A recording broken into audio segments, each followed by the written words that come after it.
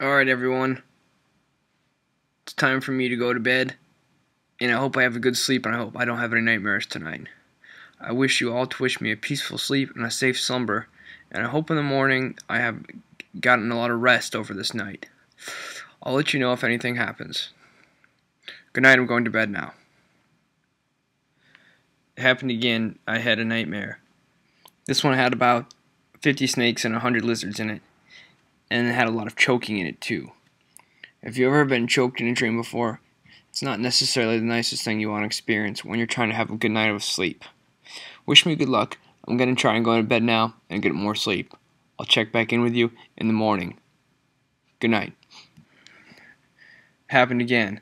Another nightmare. I'm starting to think I need to win the lottery so I can pay a doctor to help me. I figure if I spend $50 a day, with luck, I should be able to win the lottery by next week. Then I'll be a millionaire. I'll be able to buy sleep treatment.